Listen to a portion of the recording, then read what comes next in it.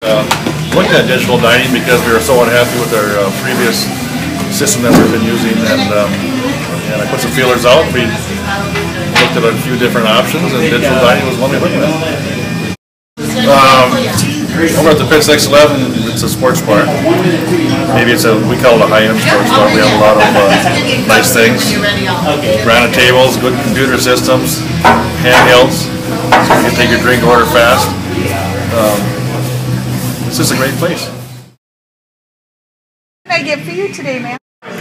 Okay, we're gonna have a sirloin dinner. How would you like that done? Uh, I would like it medium rare.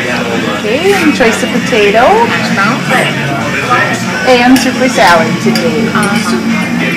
Grilled cheese? Yes. Alrighty. The thing that helps me most with digital dining running our business is, is the ease of the system. We have uh, four handhelds, we have several terminals, and they're all easy to operate. The handhelds, we can take the order at the table, it shoots it to the bartender, and by the time they get up to the bar, the, the drinks are made. Uh, And it, it all just works so well. That and, and then adding the menu items, I think is just great. It's so easy to use, we can change it quick, and in the evening, if we run out of something or we want to add something, it's very easy to do. We started a frequent dining program with digital dining, and uh, we went a way where we did a locals card.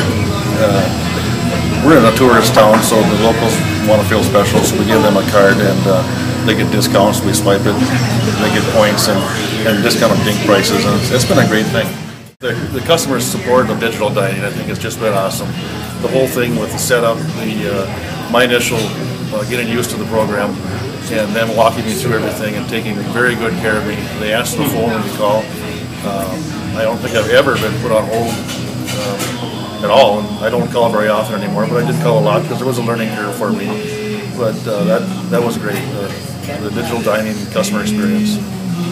My favorite features of digital dining, I think, are the Bounty stuff is heating up pretty good. the ease of adding menu items. It's, uh, it's super easy. Second and third picks. You just change them easy, they're Next year. very user friendly. Uh, the second one would be the reports. Uh, the reports are easy to use, um, they give you a lot of information, and it's just very friendly.